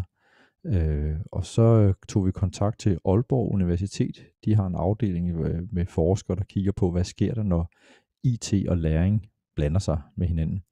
Øh, og så begyndte de at kigge i alle deres akademiske tidsskrifter osv. De kunne faktisk heller ikke finde nogen øh, nævneværdige forskningsprojekter. Der var en lille smule, der var blandt andet, kan jeg huske, et amerikansk studie, som var fuldstændig kvantitativt studie, der havde kigget på musikundervisning, hvor de havde taget tid. Og ud fra det studie kan jeg for eksempel fortælle, at, at de havde fundet ud af, at man i en videokonference, øh, distance learning situation, har 25% mere øjenkontakt, altså hvor man kigger ind i kameraet, ligesom jeg prøver nu for at lade som om jeg har øjenkontakt med nogen, øh, 25% mere, end hvis man sidder i samme rum. I samme rum, der kigger man ikke altid hinanden så meget i øjnene, fordi man fornemmer hinanden på en helt anden måde, men når man er på en video, så sidder man mere og prøver at, at kigge ind i skærmen. Det var sådan nogle slags tal, der var, vi kunne finde i forskningen, men det er ikke noget, altså det er måske noget, som er svært at overføre direkte til at sige, hvad skal jeg så bruge til det, når jeg skal undervise i fagot? Øh, så derfor så var vi nødt til at faktisk at, at, at lede videre, og endte med ikke rigtig at kunne, kunne som sagt, forsker, forskerne her, vi kunne ikke rigtig finde noget, så det vil sige, at vi blev enige om, at vi skulle selvfølgelig lave vores eget forskningsprojekt. Øh, og derfor så øh, lykkedes det os at skaffe penge til at lave et stort projekt, som faktisk stadigvæk, så vidt jeg ved, er det største, der har været lavet i verden, der kigger på, på fjernundervisning inden for musik. Øhm. Så, og det forskningsprojekt skulle altså give os ny viden, men det skulle også give os praktisk erfaring.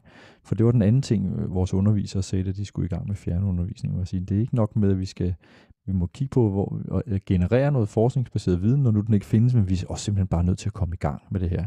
Og man kan sige, at nu har coronasituationen jo tvunget en masse mennesker i gang med det, men sådan var det ikke for 10-11 år siden. Øh, og dem, der nu ellers var interesseret i det her, sagde, men vi, vi, vi kan ikke rigtig være i en position, hvor vi kan mene noget om fjernundervisning, før vi egentlig har prøvet det. Så lad os nu bare komme i gang og få noget erfaring, og så kan vi finde ud af, hvordan kan vi få optimeret det her. Øh, og, og diskuteret, hvad det er, vi vil med det, og hvad kan det, og hvad kan det ikke, osv. Så, vi lavede et forskningsprojekt i samarbejde med to institutioner i USA her. Det er Cleveland Institute of Music, øh, og så New World Symphony, som er en orkesterskole, en slags postgraduate, altså en slags Ph.D. eller solistklasse orkesterskole, der ligger ved Miami Beach. Og jeg praler altid med det her billede, jeg har fundet af dem, fordi det, det ligger altså lige ved stranden, hvor vejret er altid godt. Jeg har, har været der et par gange, og det er virkelig et lækkert sted. Men på det her billede, der ser det ud, som om det er lidt kedeligt gråvejr. Det, det synes jeg, det er bare det er ren misundelse her fra sjask, våde, sjappede, vinterkolde øh, København her. Men Cleveland og New World Symphony var med på projektet, for vi skulle selvfølgelig have nogen at undervise til ude i verden.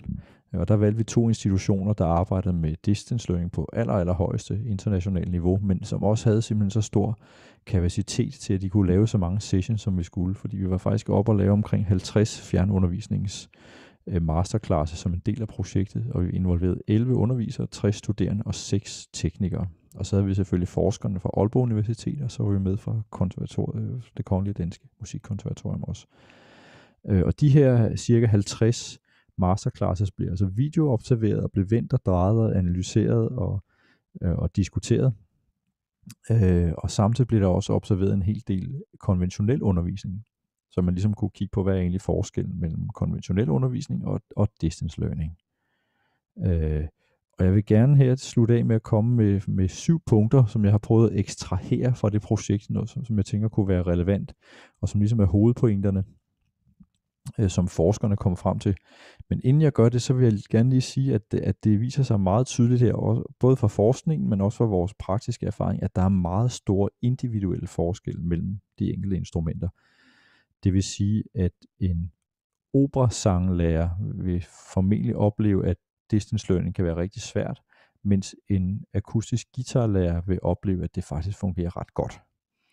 Øh, så der er altså der er store variationer, og en af de problemer, der er for, for at tage de to eksempler med, med sangundervisning, det er altså dynamikområdet for en sanger er meget, meget stort. Også i forhold til noget, som, man, som jeg snakkede om før, når man, når man, når man taler, og så pludselig så synger man enormt kraftigt. Der kan også være et problem i forhold til, hvis man skal have en akkompagnatør, hvor, hvor skal den akkompagnatør være? De er jo så nødt til at være i samme, det er en person, der skal være i samme lokale som sangeren. Og så er der nogle problemer i forhold til at placere kameraet. Hvis man gerne vil, læreren vil typisk være vant til at gå helt tæt på og se, hvordan ser strubehovedet ud fra siden måske, og så videre. Man vil også gerne se hele kroppen og posituren, hvordan, hvordan står man øh, og hvilken nærvær, hvilken tilstedeværelse har man i rummet. Og der er også nogle ting, som sangerne altid taler om i forhold til, hvordan man projicerer lyden ud i rummet, som kan være, for, jeg skulle til at sige svær, men jeg vil da gå så langt som at sige, kan være umuligt at bedømme på et par hovedtelefoner. Så sangundervisningen kan være rigtig, rigtig svær, hvis man, i hvert fald hvis man skal have fat i de fine nuancer. Mens akustisk guitar kan fungere ret godt, fordi en typisk guitarundervisningssession, øh, lektion, der sidder lærer og elev typisk over for hinanden med en guitar hver og spiller. Og, det, og selve den undervisningssituation er enormt nem at spejle med skærm og kamera. Og der er også noget ved lyden af guitar og dynamikområdet ved guitar, som ligger rigtig behageligt og rigtig godt i forhold til tale. Øh, så det vil sige, og, og, og lyden fungerer, det samme gælder cello-undervisning, det er også en lignende øh, undervisningssituation. Så instrumenter som guitar og cello har det typisk ret godt med det her. Og det betyder altså også, at, at det kan være nogle gode instrumenter, hvis man som institution vil opgradere til et Polycom-system og prøve at dele sessions med andre, så sådan noget som guitar og cello kan være et ret godt sted at starte, for der vil man formentlig få, i hvert fald få en succesoplevelse fra starten. Men pointen med at sige det her, det er altså at prøve at sige, at der er altså nogle instrumenter, hvor, øhm, øh, hvor det her det er rigtig svært, og så kan der være andre, hvor, hvor det i virkeligheden fungerer ret godt, øh, ret nemt. Øhm, og man kan nok endda gå så langt som at sige, at, at den, de individuelle forskelle fra det ene instrument til det andet til fjernundervisning er i virkeligheden større end forskellen fra fjernundervisning til konventionel undervisning. Så, øh, så det kan godt være svært at sige noget generelt om det her, men alligevel vil jeg godt våge pelsen øh, og sige noget generelt. Øh, og øh, en af de ting, som, som, som man kan sige generelt, det er, inden jeg kommer til de her syv punkter fra, vores, fra forskningsprojektet og vores andre erfaringer, som er vores lille marketerning af erfaringer. Så en af de ting, som, som, øh, som jeg lige vil, vil nævne også, det er, at, at det er typisk underviseren, der oplever de her barriere. Det er ikke særlig meget eleven, der oplever det. Og jeg tror, det er fordi, at, at der er jo en tendens til, at man, man kan sige, der er jo et hierarki, et, et lærer-elev-forhold, der betyder, at en elev typisk modtager, hvad der nu kommer, og reagerer så godt som muligt på det. Øh, og er måske ikke så opmærksom, eller har ikke den samme opmærksomhed på, på hvilken metode og hvilke veje er det, læreren prøver at finde ind øh, til, den, til en løsning på den læringssituation, man har. Men læreren til gengæld er den, der har styringen, og hele tiden skal prøve så det er hele tiden læreren, der løber panden mod muren, Åh, det kan jeg ikke lade sig gøre, så kan jeg gøre det i stedet for, og så videre. Så, så det, det betyder også, når man forsker i det her, når man evaluerer og interviewer og så videre, det kan faktisk være ret svært at få så meget ud af eleverne. Øh, de, de er typisk, i hvert fald de, de studerende, vi har herinde, og vi kan se rundt i verden, når vi laver distance learning, de, de er typisk bare ret glade og siger, men det var da fint, det var, det var godt, og selvfølgelig var, havde det været bedre at være sammen, men ja, det var meget godt. Mens lærerne kan komme med, med lange forklaringer om, hvad der er galt med lyd og billede og forsinkelse og alt muligt andet. Så det vil sige, en af de ting, vi har fokus på her i, i København, og det er i hvert fald at prøve at sige, hvordan, hvad kan vi egentlig gøre for os at få noget mere ud af, ud af eleverne og få deres inputs til at få, få optimeret alt det her. Øh, men nu flytter vi videre her til, til syv punkter, og punkt nummer et, som er et af de man kan sige, positive punkter, som, som forskerne på, på vores øh, forskningsprojekt pegede på, det er, at de siger, at de studerende er mere aktive, og de reflekterer dybere. Og det er faktisk også en af de ting, som, en af de få ting, som vi har kunne få ud af, af eleverne, eller de studerende selv. Øh, der vil jeg også sige, lige binde en lille sløjfe tilbage til noget af det, jeg sagde i starten med, at, at de erfaringer, som jeg taler om nu, de kommer jo fra konservatoriestuderende, og ikke fra børn. Øh, og der er selvfølgelig noget i forhold til det, det ansvar, man kan lægge på en voksen konservatoriestuderende, og den ansvar, man kan lægge på et barn i forhold til ansvar for sin egen læringssituation og læringsudbytte. Det er jo to helt forskellige ting, som kan være svære at, at, at sammenligne. Men i hvert fald de voksne studerende, de siger det her, at, at i og med, at de ikke er i rum med læreren, øh, og der er altså også nogle lærere, der, der, der nikker genkendende til det her, i og med, at man ikke er i samme rum, jamen så, så skal den studerende altså i højere grad selv finde løsninger på problemer med deres egen krop. De kan ikke få det vist på helt samme måde. De har ikke helt samme fornemmelse for, hvad det egentlig er, læreren prøver at sige. Så det skal de selv gøre, og man kan nærmest sige, at så bliver den løsning, som eleven skal finde, bliver altså kropsligt gjort i dem selv på en bedre måde, og det gør, at de husker det bedre. Øh, så, øh, så, så det er i hvert fald en, en ting, der kan være positiv. De siger også, at de reflekterer dybere over det, de laver. Altså der er simpelthen et slags hyperfokus, øh, når man er på en videokonference. Det er jeg sikker på, at alle dem, der har prøvet det her, kender, at man er meget flad. Altså øh, undervise en halv time i videokonference er stort set lige så hårdt som at undervise en time, når man sidder en til en. Sådan har jeg det følt også, når jeg sidder og taler nu at, øh, at det, det er enormt energikrævende at tale sådan her. Hvis jeg havde været i rum sammen med jer, det havde været meget hyggeligere, og der havde været kaffe og fælles kaffe og en lille vogn med croissanter hen i hjørnet. Man kan fornemme hinanden meget bedre, men at sidde her alene i en mørk, halvmørk stue og tale til et kamera, det, det er enormt opslidende, fordi man har ingen fornemmelse. Det er følt også noget, man hører fra forskellige øh, bands og ensembler osv., som har prøvet at spille de her streaming-koncerter. Jeg har også, det har jeg også selv været med til en enkelt gang at, at det med at faktisk sidde og spille på den måde som en, en, en slags broadcast, at det, det er enormt energikrævende. Så, så det er energikrævende, fordi man må kompensere for det mangel af nærvær, der er, men, men også simpelthen fordi man er altså enormt fokuseret. Og lærerne oplever, oplever det her hyperfokus, som, som nogen kalder det, ved man simpelthen bliver træt. Altså det er opslidende at lave, have en meget lang undervisningsdag på skærmen.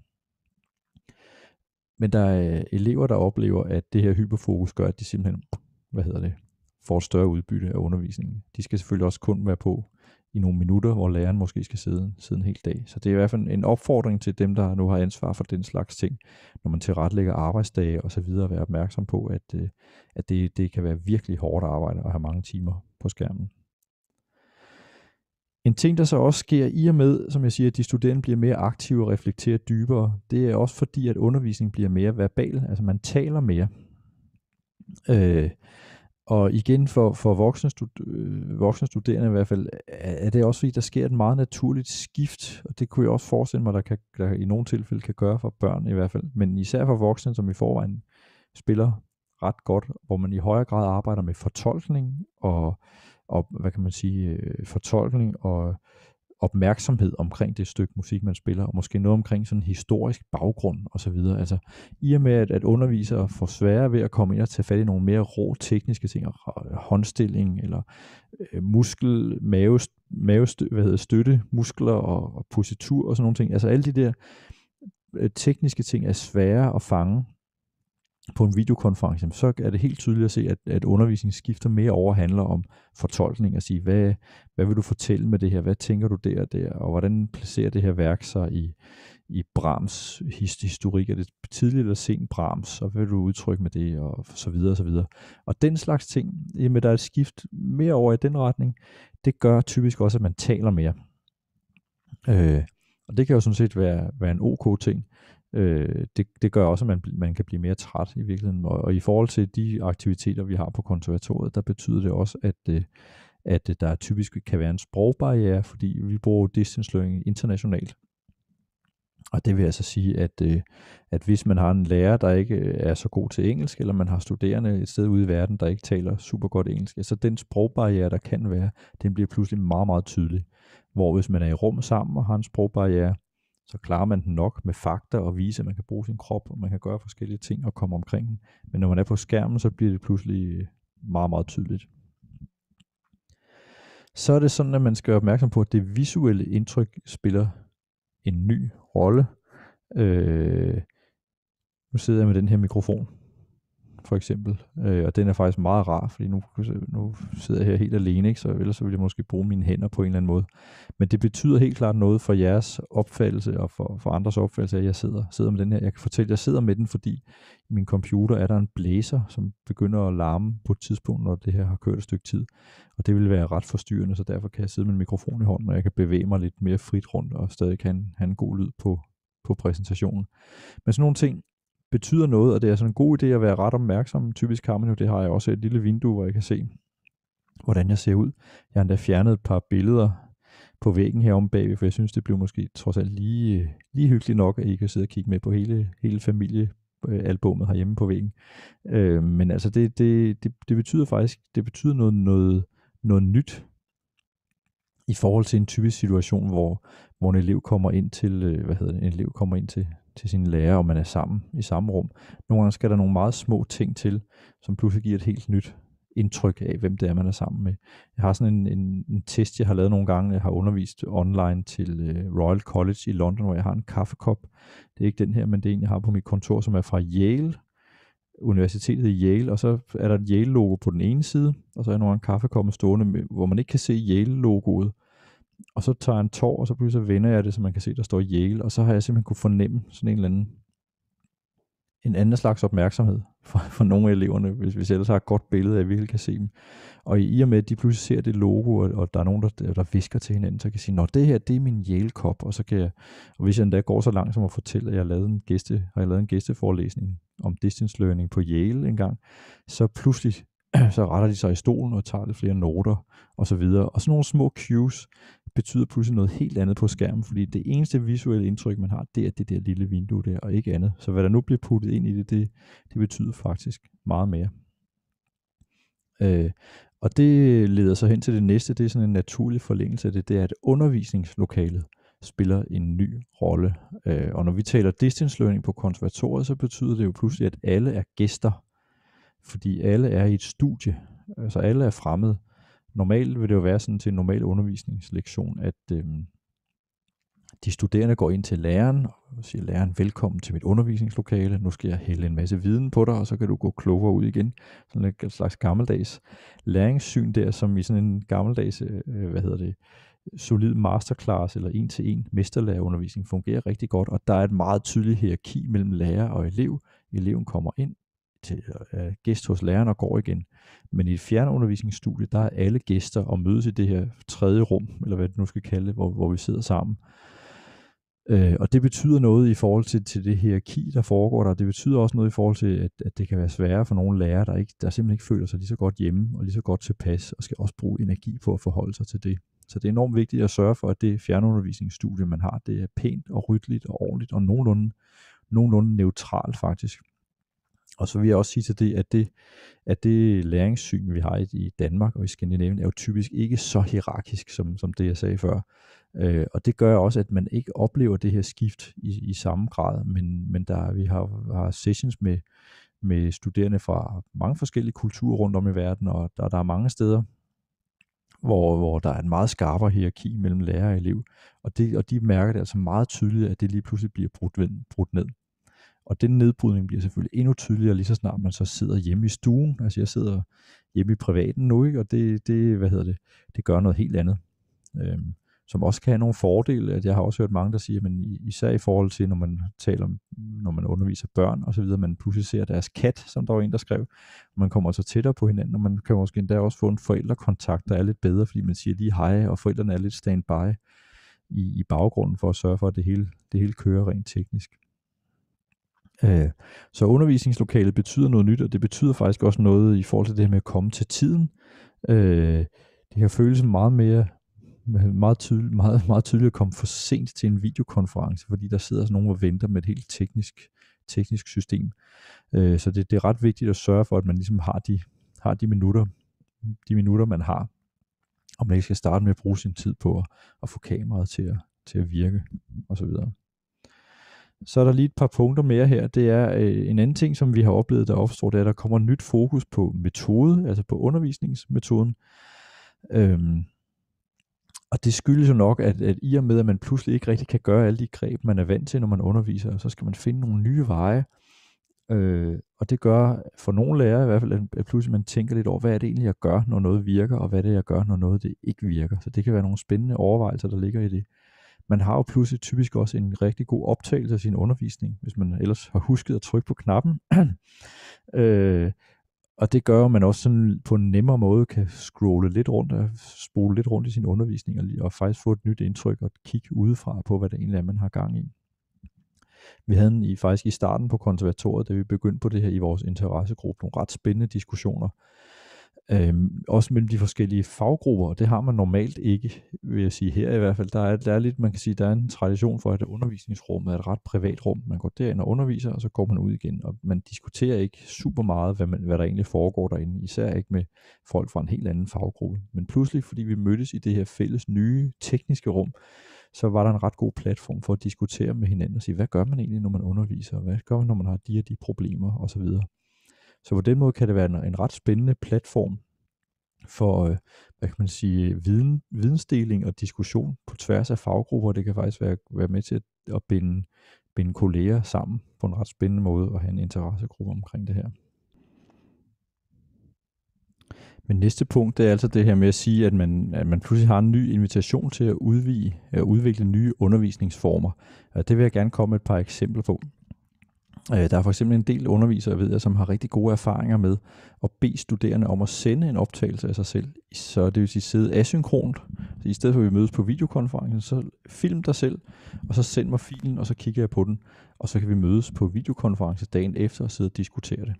Øh, og det gør altså noget rigtig godt på den måde, man faktisk rykker den studerende i en helt andet slags rum end undervisningsrummet. Og jeg kan huske, hvis jeg tænker tilbage på min egen klaverundervisning som barn, den kunne godt udvikle sig til, til nærmest et lille Victor Borge-show, hvor jeg sad og vendte noderne forkert, og, og havde ikke rigtig fået øvet, og ikke rigtig bla bla bla kigget på det, og det blev sådan lidt, lidt for hyggeligt nogle gange måske. Øh, hvor hvis jeg var blevet bedt om at sige, send en optagelse øh, af det, du har lavet, hvor du virkelig med oprejst pande kan sige, så langt er jeg nået med det her nummer lige nu. Og så kan læreren efterfølgende give feedback på det. Og så bliver man pludselig som elev flyttet fra fra, hvad kan man sige, fra et almindeligt, hyggeligt hverdagslæringsrum til noget, der minder mere om et, hvad kan man sige, et koncert, et optrædelsesrum, hvor man så mere går ind på scenen og står på mål for det. Og det, og det giver et helt andet udgangspunkt for en lærer at, at, at, give, fat, øh, at give feedback på det. Og jeg tror, der er en del undervisere, som faktisk vil beholde den tilgang, selvom vi kommer tilbage til normal tid. Øh, så alligevel kan det være en fordel at sige, at vi holder måske fast i en gang imellem og, og bruge det her aktivt med at bede om at få sendt nogle, nogle optagelser. Det kan være ret udviklende for, for eleverne at komme den vej der. Og det kan man sagtens lave på en, øh, på en smartphone eller en iPad eller et eller andet. Det, det, det behøver ikke at være en super professionel optagelse. Vi har også haft rigtig stor glæde af at bruge de her systemer til at samle små faglige miljøer. Altså hvis man kan forestille sig smalle instrumentgrupper, hvor der er meget få studerende, så kan man øh, måske mødes med andre institutioner, hvor der også er meget få studerende. Vi har for eksempel haft stor succes med at lave øh, øh masterclasses for horn. Der er horn, der er ikke forfærdelig mange horn studerende på konservatoriet, men øh, og det betyder altså, at de typisk ikke har så mange ressourcer til at lave masterclasses. Men øh, hvis vi kan kombinere dem med en hornafdeling på Manhattan School of Music, eller konservatoriet i Amsterdam, eller et andet sted ude i verden, øh, øh, Sibelius Akademiet i Helsinki har vi også haft horn masterclasses med, så har vi pludselig en mulighed for at udveksle. Og det behøver jo ikke kun at være internationalt, man kunne også forestille sig nationalt, at man kunne måske samle, hvis flere skoler havde, havde et godt netværk med et, et godt system, at man kan, man kan samle hinanden og lave nogle fælles timer en gang om ugen på tværs på nogle af de her smalle instrumenter. Det kunne måske endda også være en måde at forestille sig, at man kunne dele nogle, nogle lærerkræfter og sige, at i vores region er det svært at finde en god lærer inden for det her smalle instrument, så kan man måske øh, hjælpe hinanden på den måde. Vi har også haft et rigtig øh, spændende projekt, øh, der ligger i dvale lige nu i de her tider, men det er et projekt, der hedder Global Audition Training. Og det er altså et program, hvor vi træner vores øh, musikere i at gå i, til orkester auditions. Det er jo en stor del af at være klassisk musiker. Man kan gå op til sådan en slags øh, øh, hvad hedder det, jobsamtale, hvor man skal spille og demonstrere sig selv. Det er også en ret presset situation. Øh, øh, så det er, nød, det er man nødt til at have træning i. Og de fleste konservatorier har en form for audition-træning, hvor man laver en eller anden, man, nogle steder kalder man det stunt-konkurrencer, hvor man altså ligesom laver en slags fake audition, øh, og så kan man ligesom øh, komme ind og, og, og få prøvet kræfter med det her format. Og det vi så kan udvide med, med fjernundervisningsrummet, det er at sige, nu deler vi, nu laver vi audition-træning, men vi laver det globalt. Så vi har så samlet øh, studerende fra, øh, fra, det har været fra København og London og New York og Cleveland og Miami, og vi har også haft Wien og Shanghai med. Øh, altid fire institutioner sammen, hvor man så spiller ikke for undervisere, men for orkestermusikere i de andre lande. Så man har altså solospillere fra, fra symfoniorkesterne i de her forskellige byer, og så øh, laver man, spiller man i København måske violin, Øh, og så får man altså orkesterfeedback fra koncertmester fra Cleveland og fra Wien og fra London Symphony Orchestra for eksempel, og så her lokalt fra København. Og det giver altså en måde, ikke kun at, at, få, at få en masse feedback, men altså også en hjælp til at få afdækket de forskellige orkestertraditioner, som der er i de forskellige lande, fordi det kan sagtens være, at, øh, at de her forskellige koncertmestre er ret uenige om forskellige ting, og siger, jamen her i Cleveland, der går vi meget op i det og det, og så siger de fra London, jamen vi lægger væk på noget helt andet her.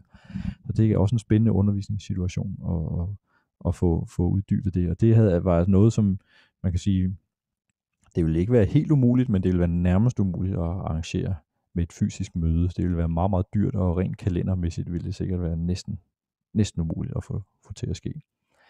Vi har også haft øh, øh, et sidste eksempel, jeg lige vil komme med her, det er, at vi har haft et, øh, et, faktisk det eneste projekt, vi har haft på konservatoriet, som har involveret børn, og det har været et projekt, der hedder Mini Fiddlers, øh, som, øh, hvad hedder det, som fokuserer på det, man kalder color strings metoden, og der har vi altså samlet børn øh, i, i København, og det har egentlig været musikpædagogikunderviser, så vi har ligesom fået uddannet nogle color strings øh, musikpædagoger, øh, som har undervist børn og ligesom er blevet, øh, hvad kan man sige, øh, coachet og observeret øh, udefra af eksperter på det her område, så er de ligesom delt, delt på tværs mellem forskellige institutioner. Så, så hvad hedder det? Så i virkeligheden kan distance learning, et distance learning miljø kan være en rigtig spændende motor for udvikling af nye undervisningsformer. Og så det sidste, jeg vil nævne her, nu er jeg høflig nok til at gemme mig selv til sidst, det er, at teknikeren kan påvirke situationen. Øh, og det kan man forestille sig nu, vi kan se det lille billede der, der er i midten med Mikkel Kroner, som har været distance learning tekniker her i København på en masse sessions, at hvis man har et studie øh, og et helt setup til, til den her form, altså ikke hjemmeundervisning, men, men for specialiseret studie, så sidder der pludselig en tekniker med i lokalet. Og det betyder altså, at lærer og elever ikke, har ikke et helt lukket intimt rum for sig selv, der sidder altså også en, en tekniker. Mm, og der, og der er det altså rigtig vigtigt, at det er en tekniker, som forstår den her undervisningssituation, og ved, at man er tekniker for at understøtte en læringssituation, men er der ikke for at lave en lækker produktion. Altså det er rigtig vigtigt, at den lyd og det billede, der bliver sendt, er ærligt. Det duer ikke, hvis man har en stryg for tæt siden, og der er et balanceproblem, hvis øh, anden violin spiller for svagt, at man så mærker den op, for at få balancen helt rigtigt, for det er rigtig vigtigt, at læreren i den anden ende hører et ærligt billede, og selvfølgelig kan hjælpe et ensemble med, med de, bare for at tage det så eksempel, som eksempel, med de balanceproblemer, der nu kunne være. Øh, så det er rigtig vigtigt at have, have lydfolk, der i virkeligheden måske ikke nødvendigvis er de dygtigste i verden, men som virkelig har en forståelse for, hvad det er, der skal til for at understøtte en læringssituation, sammenlignet med, altså, som modsætning til at lave en rigtig lækker tv-transmission af et eller andet. Så, så, så det er i hvert fald det er helt klart værd at, at fornemme, eller værd at have en fornemmelse for. Vi har også haft rigtig øh, øh, mange situationer, hvor vi siger, at der er en tekniker, der starter op, hjælper med, at det hele kører, og så derfra kører, kører man så uden tekniker, og så kan man så måske ringe, hvis der er et problem. Øh, og det er ikke fordi, de er så voldsomt svære at bruge, de her øh, Polycom-systemer, som jeg nu har talt så meget om efterhånden. Øh, så man kan godt forestille sig også, at underviser godt kan få et hurtigt kursus, og så vil selv kunne gå ind og, og ringe op og køre en session. Ja, nu kigger jeg på uret her, så kan jeg se, at jeg skal til at runde af, og det passer faktisk helt perfekt. Og jeg vil godt lige slutte af med det her billede. Det er fordi, det er øh, et billede fra en film, jeg enormt godt kan lide, og som jeg tilfældigvis lige så igen her forleden dag. Jeg tænkte, det passer meget godt, fordi jeg vil lige bare sige en lille smule om fremtiden. Øh, I virkeligheden vil jeg kun sige to ting om det. Det ene det er, at øh, jeg synes, det er rigtig vigtigt i den her tid med isolation og hjemmearbejde osv., at, at øh, lige så meget energi vi bruger på at, at glæde os til at komme tilbage igen, lige så meget energi skal vi altså også lige bruge på at holde øje med, hvad var det egentlig, der fungerede godt her, og er der et eller andet, er der bare 1% vi skal tage med fremad, øh, og, og tage med i fremtiden, det, det, det synes jeg er rigtig, rigtig vigtigt. Øh, jeg er sikker på, at vi trods alt kan lære noget, selvom vi alle sammen glæder os til at være sammen på konference igen på et eller andet tidspunkt. Og det andet, jeg vil sige, det er, at vi har, øh, hvad hedder det, øh, et arbejde i gang på konservatoriet med, øh, her på DKDM med at etablere en form for videnscenter for distance learning. Det bliver ikke et stort videnscenter med flere ansatte og alt muligt, men det bliver en, en form for hjemmesidemiljø, hvor en præsentation som den her for eksempel kunne ligge, og der også kan ligge forskningsartikler og kort over forskellige netværk og kontaktpersoner osv. Og det er helt klart også et område, hvor det kunne være rigtig, rigtig spændende at, at involvere musikskolerne. Øh, fordi det er jo alle jer derude, som, som altså også bruger de her hjemme, hjemmesystemer og har en masse erfaring, og meget større erfaring end nogen her på konservatoriet har. Så derfor ville det være, øh, være rigtig fint, og det her det er egentlig bare ment som en åben invitation, som så kan føre hen til den sidste side her, øh, med min mailadresse på, at hvis nogen har en særlig interesse i det, eller måske gerne vil have nogle inputs til, øh, hvordan kunne man komme et skridt videre, hvis man vil bygge sit eget distance learning studie, og måske forbinde til nogle andre musikskole. Jeg kan sige, at øh, øh MGK i Holstebro har vi faktisk allerede lavet nogle sessions med, de har fået deres eget Polycom-system, og så vidt jeg ved er Kolding ret tæt på også, og det kan være, at der er flere steder. Dels vi kunne lave nogle projekter fælles, men det kunne også være, at man så indbyrdes kunne, kunne have glæde af hinanden. Så er sådan en invitation til at byde ind, hvis man har noget til en, en slags distance learning videnscenter, og så ellers en åben invitation til at kontakte mig, hvis der er nogle spørgsmål, eller man gerne vil have nogle inputs. Og så vil jeg ellers sige mange, mange tak for muligheden for at tale om et emne, som jeg synes er rigtig spændende øh, og brænder for. Og, og tak for alle dem, især alle de mange til konferencen i går, som faktisk holdt ud og holdt koncentration i mange, mange minutter med meget, meget snak. Ja, og det var alt herfra. Tak for opmærksomheden. Hej.